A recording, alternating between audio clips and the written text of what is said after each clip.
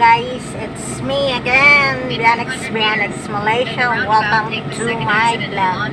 Meron na naman tayong isang OFW dito sa Malaysia na natutulungan natin. At nabibigyan natin siya ng trabaho. OFW from Leyte. Ayan siya guys. Hello po. Ayan si Grace. Taga, Ngayong hapon sa inyong tanan? Taga Leyte po siya. Okay, so ilang taon ka na dito sa Malaysia? Ah, walo ka tuig na, magdaga na sa siyam. Okay, going to 9 years here in Malaysia. In 300 meters, Okay, so guys, 14 so one employer only 8 years uncle. Yes. Yes. Okay, one employer she's working for 8 years. So now I giving her uh, work in Cyberjaya. Okay, is a good family also. So, ayan guys, mamatutulungan na na naman natin ang isang kababayan natin na OFW dito sa Malaysia. So, samahan nyo kami 42. sa aming journey for today. Okay, so, Yeah. Grace, an anong masasabi mo? Ah, nagpapasalamat po ako kay ma'am kasi ah, hindi ko akalain na makakahanap pala ako ng isang kaibigan dito sa Malaysia na magkakaroon ako ng bagong job at bagong journey again mag magbilang tayo ng taon ulit. Yan. Okay. para makapag-ipon at umuwi na ng Pilipinas. Thank you, ma'am. Okay. Salamat. Sa mga taga Leyte, dyan, taga Leyte, shout out sa inyo. Okay? Thank you. So, ayan, shout out ka sa Leyte. Oh, taga shout sa- out sa mga taga Hamurao ng Maria Biliran. Yan, sa Leyte yan. Hello po. Oh, pakita mong dagway, pasa ng mas. Hello ka YouTuber sad ko. Ah.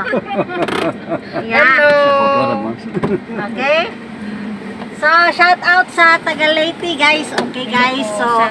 Ayan guys, ihahatid ko po siya sa kanyang destinated na ah, working place. So ngayon ay meron na naman tayong isang OFW dito sa Malaysia na natutulungan natin at nabigyan ng work. So titingnan nyo ang aming ang aming dadaanan ngayon papunta sa kanyang work. See you later guys! Kinsa man tayo? Asa man na Malaysian din na sila o sa sila? Ma- oh, Malaysian. Malaysian. So guys, okay, pupunta na tayo sa ating destination sa employer ni Mary Grace. May YouTube din pala. Anong YouTube mo? Ah, Grace, Grace Caparo. Oh, Grace Caparo guys. Uh, subscribe nyo rin po siya. Support her YouTube channel. Okay? Support. Support, po sa Grace Caparo po channel o vlog.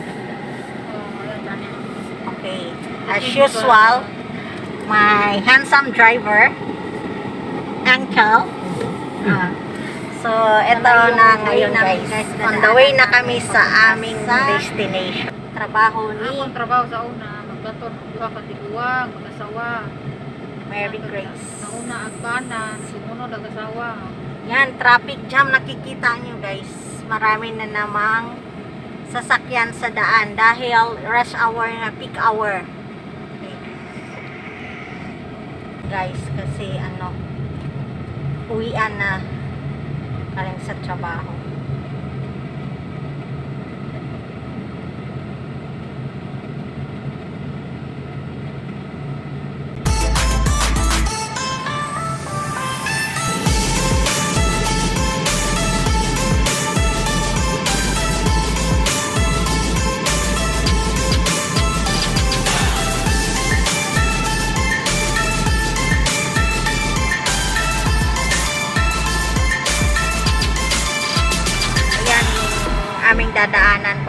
Dun sa Cyberjaya guys.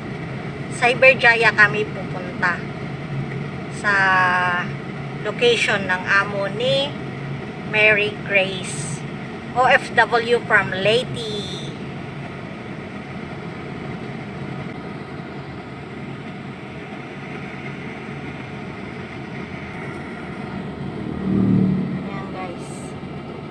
So, na-traffic traffic tayo ngayon. So, from PJ So, mga 50 minutes na 50 minutes pa guys bago kami makarating doon sa pupuntahan namin.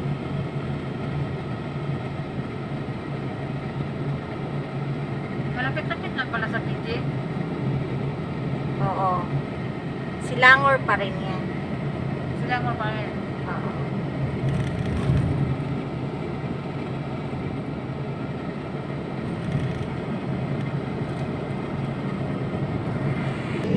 In 300 meters, exit left. Then turn left. Yan yung Henneken. Factory ng Henneken Guinness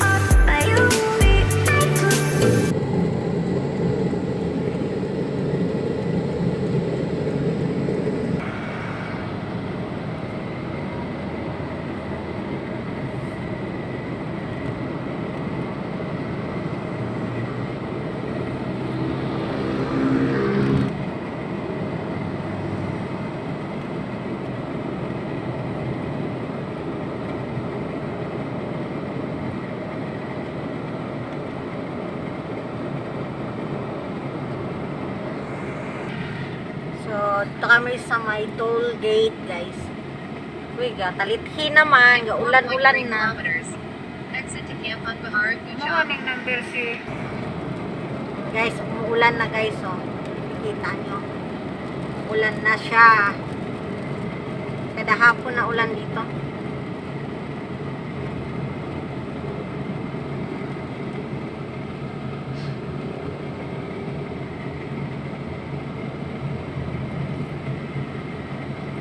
Pero yung pupuntahan natin ng address ngayon, saan ko pa rin yan ang silangon. Oo, Cyber Chaya. Kasi kasi yung iba, wala Oo. pa akong pambayad na 7,000 kaya pumayag siya. Sabi siya, sabi niya sa akin, sige gamitin mo muna yung pangalan ko. Nasa Australia naman kaya sila. Oo. Hindi na makauwi dito, namatay yung nanay niya, hindi ka nakita eh. Oo.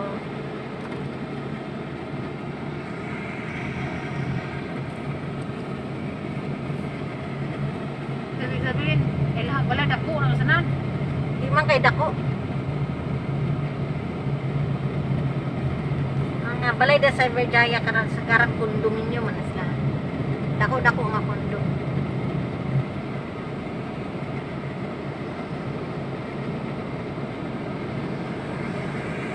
Ano yung sugot na siya? Kay ginan ako nga meet karon makuha ma'am. In 300 meters, exit left.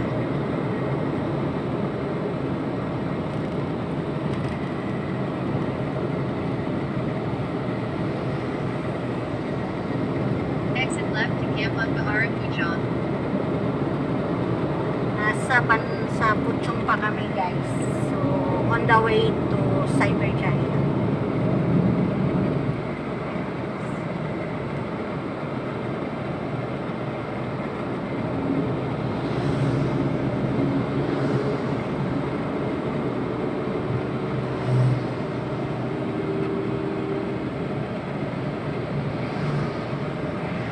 Kasi pag sinabi, Grace, ihatid mo na yung passport mo, bantay bayad. Aptik ng paghatod kay, kaning isod karon. Kapila tanan. Keep left to exit 1118 Guchang Inton, Sarabon, Putrajaya. Iyan ang pinaka-importante sa atin dito. Visa. Mahirap magtrabaho na walang visa.